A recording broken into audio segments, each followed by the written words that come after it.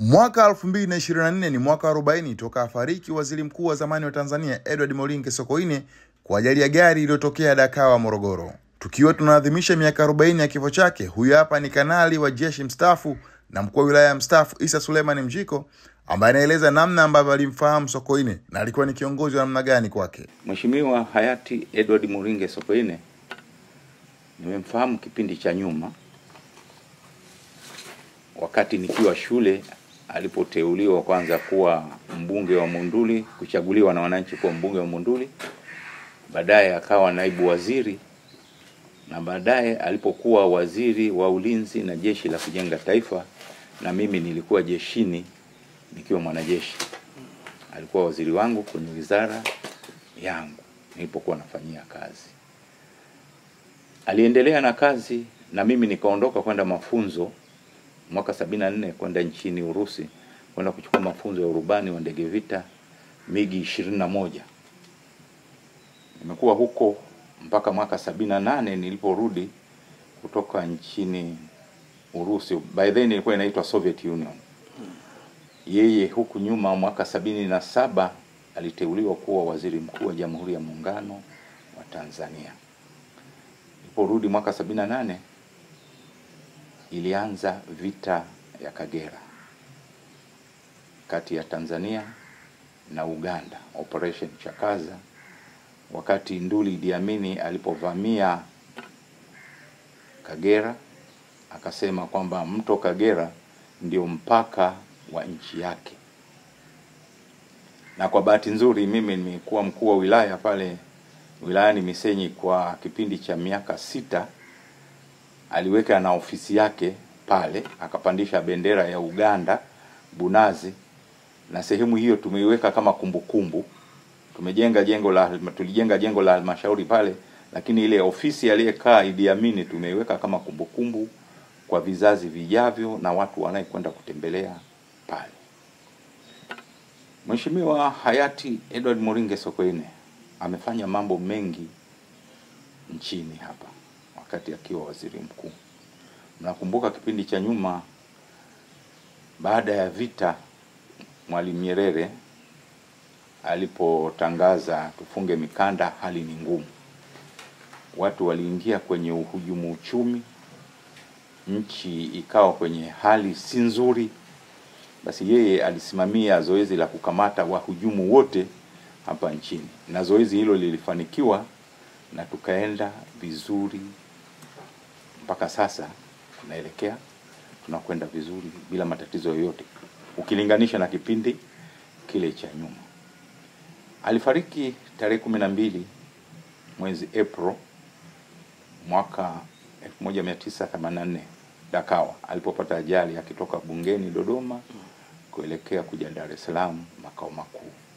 Ndio ajali alipopata afariki mwaka huo, na mimi wakati huo nikiwa jeshini nikiwa na cheo cha captain mwaka 84 nikiwa katika kikosi cha mia sita na mbili jijini Mwanza. Wakati ule hata yeye alipoteuliwa, hayati Edward Moringe Sokoine alipoteuliwa kuwa waziri, naibu waziri na waziri, alikuwa bado kijana, hakuwa mtu mzima, umri wa miaka thelathini na thelathini na sita thelathini na nane alikuwa ni kijana bado.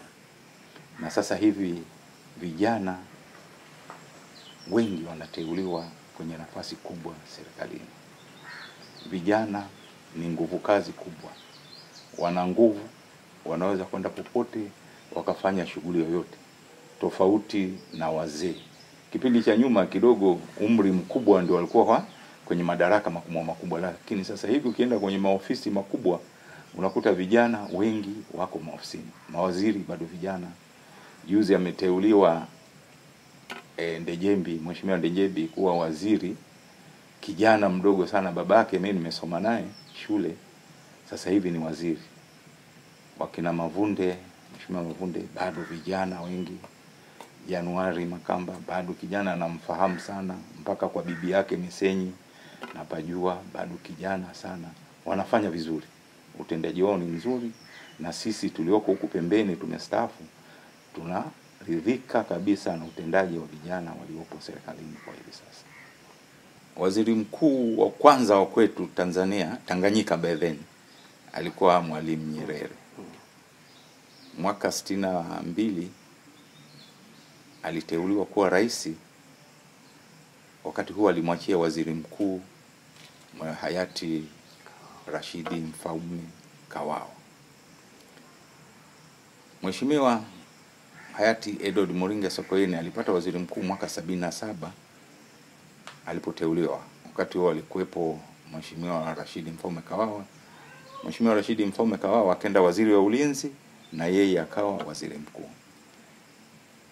Mambo mengi aliyafanya na kila mtu nchi hii alimpenda sana Mheshimiwa hayati Edward Moringe Sokoine, na ndio tulijua kwamba baadaye atakapostaafu Mwalimu, tulijua yeye moja kwa moja anaweza kuja kuwa rais wa Jamhuri ya Muungano wa Tanzania kwa utendaji wake ulietukuka, utendaji wa heshima. Alikuwa akipenda kila mtu, alikuwa anasikiliza shida za wananchi sehemu yoyote ile alikuwa akienda, na alikuwa anatembea sana. Sisi alikuwa akija pale, tulikuwa Mwanza Air Force Base pale, alikuwa akija wakati wa vita, anatua pale, tunakaa naye, tulikuwa tuna mahema pale na ndege zetu tunakaa naye pale, tunakula pamoja, anaongea, baadaye anaondoka kuelekea kwenda Kagera, anakwenda kushuka Bukoba, baadaye anakwenda kwenye mstari wa mbele kwenda kuangalia hali ya mapambano ilivyokuwa ikienda. Hakuwa mwoga, maanake mwingine, hata wewe Haji, ungeambiwa kwenda mstari wa mbele ungestuka, ungestuka. Lakini mheshimiwa hayati Edward Moringe Sokoine alikuwa ni mjeshi hasa alikuwa anakwenda mpaka mstari wa mbele vikosi vilipokuwekwa pale mm. alikuwa anakwenda mpaka pale moja kwa moja mm. anaangalia jinsi gani mapigano yalivyokuwa yanakwenda pale. Kuna mlima upo maeneo ya Misenyi, sehemu ya Nsunga, eneo linaitwa Kaboba. Kuna mlima upo sasa pale, mizinga yetu ndio ilikuwa imekaa pale. Sasa ile mizinga ilikuwa inapiga kwenye milima ya Mtukula kule sasa alikuwa akifika mpaka pale. Sasa mtu mwingine asingekuwa na na jeuri ya kusema kwenda pale na cheo cha waziri mkuu uende pale, ya nini kwenda kujitafutia matatizo? Lakini mheshimiwa alikuwa akifika mpaka pale, anaangalia hali, anajua shida za askari, anatanzua na walichokuwa wakiomba alikuwa akileta moja kwa moja kwenda kwenye mstari wa mbele kwenye mapigano, na kwa wananchi wengine huku mambo yalikuwa yanakwenda kama kawaida. Sasa sisi tulikuwa jeshini zaidi ya uraiani tulikuwa tunayaona pia jinsi alivyokuwa akifanya mambo mazuri kwa wananchi wa Jamhuri ya Muungano wa Tanzania. Hamasa kubwa Bwana Haji, uzalendo, Ndio.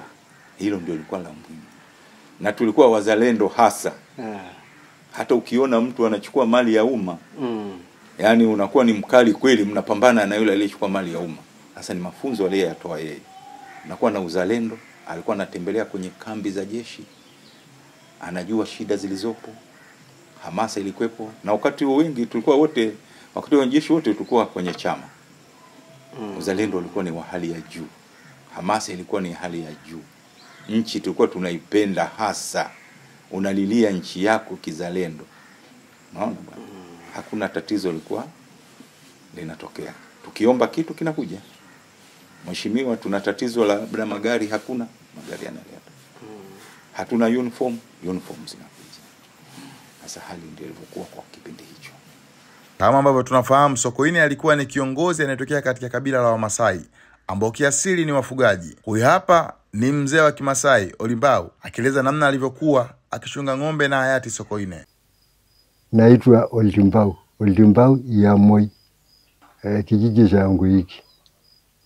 Sokoine tulikuwa pamoja tukiwa watoto, watoto tulikuwa machungani wote.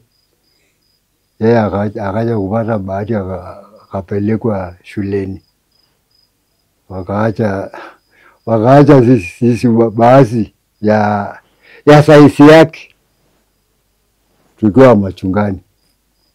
Kwa hiyo hata wakati ule Sokoine anaenda shule watu walilia sana. sana sana sana sana sana, wanalia machozi, hawajui shule ni nini. Wanajua huyu kama haja- hajaenda kufa wataenda kwenye yeye haji nyumbani tena. Kwa hiyo wakati huo wana, wanatoa watoto ambaye wala ambaye uh, hawapendi sana nyumbani. Ikawa bahati kwake. Eh, ikawa Wakati ule ilikuwa ni chini ya mkoloni. eh, naye pia akaenda akaendelea na shule. Bahati yake akapata kila akienda sekondari akafaulu, akaenda sijui sijui ma, ma, ma, ma, Marekani. Aliporudi akaja kuwa mkuu wa Kassel wilaya ya Monduli. Nilipokuwa machungani alikuwa ni mtu wa namna gani?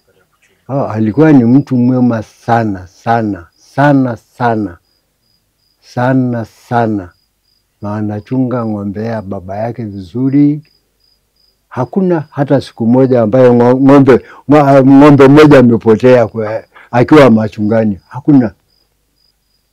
Eh, tulikuwa machungani ha, eh, alikuwa mtoto yake alikuwa ah, anataka awe like nani wa mila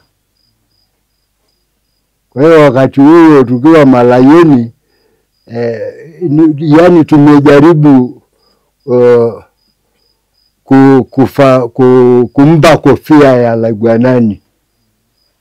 Bahati nzuri kabla hatu- hatujafika hapo eh, akachukuliwa na serikali eh, kweli alikuwa na, na upendo na watu alikuwa tuna yani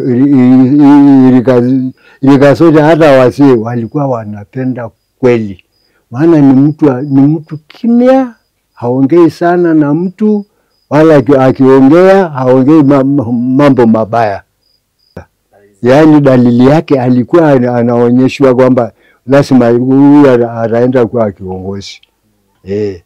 Eh, alikuwa, alikuwa, wanashauri wani wa- ilika zetu tukiwa wadogo, walikuwa wanashauri uh, tufanye hivi na tukifanya hivyo kama, kama alivyosema tutafanikiwa.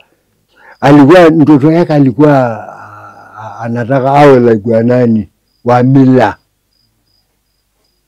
Kwa hiyo wakati huo tukiwa malayoni eh, yani tumejaribu uh, ku, kufa, ku, kumpa kofia ya Lagwanani. Bahati nzuri kabla hatu- hatujafika hapo akachukuliwa na serikali